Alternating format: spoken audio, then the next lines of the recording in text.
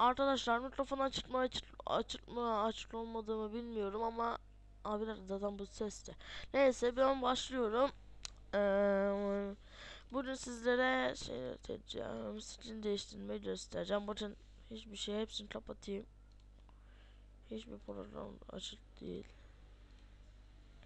Animatör kullanmaya çalıştım. Başardım da. Tamam. İlk önce hemen size bir tane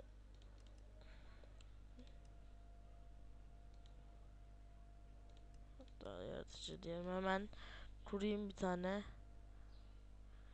Ve size stilini göstereceğim.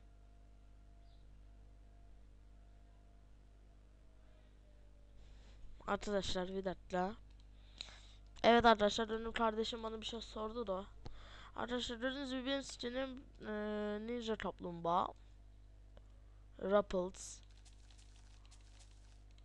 Haya. Neyse. Batman oynaya dön. Çıkalım. Şimdi arkadaşlar. Buradan Minecraft skins.com'a giriyoruz. Altta eğer yazmakla uğraşmak istemiyorum derseniz altta linkini vereceğim merak etmeyin. Daha kısa yol olsun diye.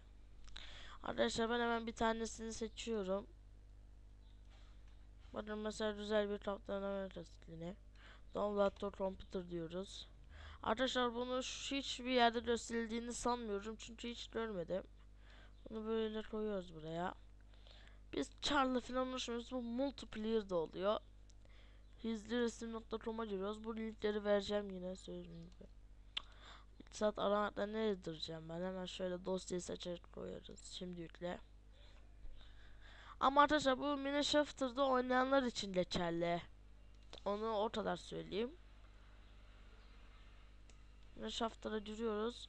Bu üç tane üç şeyin de linkini vereceğim merak etmeyin. Ee, olduğunca hızlı olmaya çalışıyorum çünkü YouTube yükleyince çok e, uzun sürüyor. Ve gördüğünüz gibi ben buradayım. Hani siz kaydı olabilirsiniz. Ben ama kaydı olmayacağım şimdi. Yeni pro e, bir şeyler bir şey çıktı. Şimdi Remove Skin'e basıyoruz. Remove Skin. Burada önceki skininiz kalabilir. O önemli değil. O e, zaten şeydir. Ve burayı şöyle set diyoruz. Bu önemli değil. Bu SS skininiz. Gördüğünüz gibi yenilince zaten çıkıyor skin. Şimdi arkadaşlar yeniden Minecraft'a giriyoruz.